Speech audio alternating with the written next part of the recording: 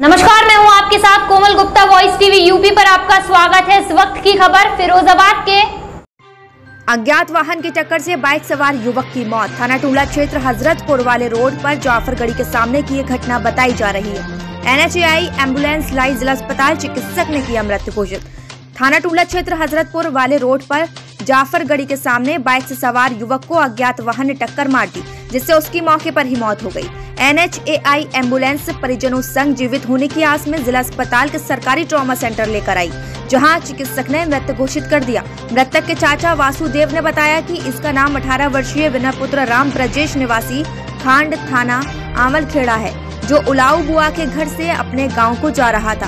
हजरतपुर वाले रोड पर नाले के पास जाफरगढ़ी के सामने अज्ञात वाहन ने टक्कर मार दी पीछे से, जिसे आई एंबुलेंस से यहाँ लाया गया। चिकित्सक ने मृत घोषित कर दिया।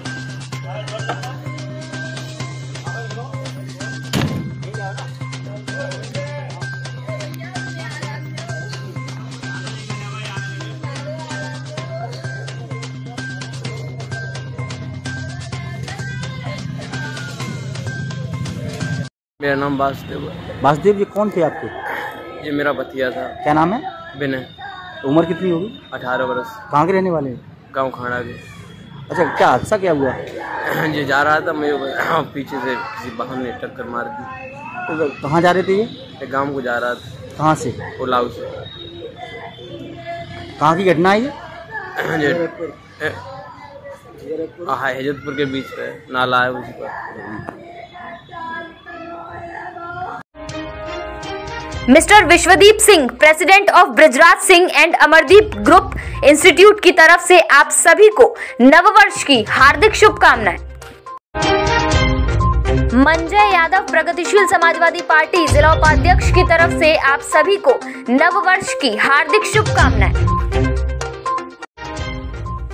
अवधेश सिंह जादौन प्रभारी इमरान मंसूरी जिला उपाध्यक्ष, प्रगतिशील समाजवादी पार्टी की तरफ़ से आप सभी को नववर्ष की हार्दिक शुभकामनाएँ।